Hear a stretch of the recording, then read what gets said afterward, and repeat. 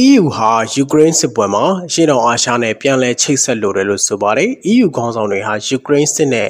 တရုတ်နိုင်ငံစိန်ခေါ်မှုတွေကြောင့်အာဆီယံနဲ့ဆက်ဆံရေးတိုးမြှင့်ဖို့ဘရက်ဆဲမှာရှိတဲ့ထိပ်သီးစည်းဝေးမှာ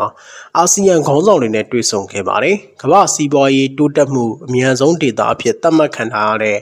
အာဆီယံနဲ့ကုန်သွယ်မှုမြင့်တင်ဖို့ EU က စိတ်အားထက်သန်နေတယ်လို့လည်းဆိုပါတယ်။ကမ္ဘာပြောင်းလဲမှုအားအကောင်းဆုံးနယ်မြေတွေကတစ်ခုဖြစ်တဲ့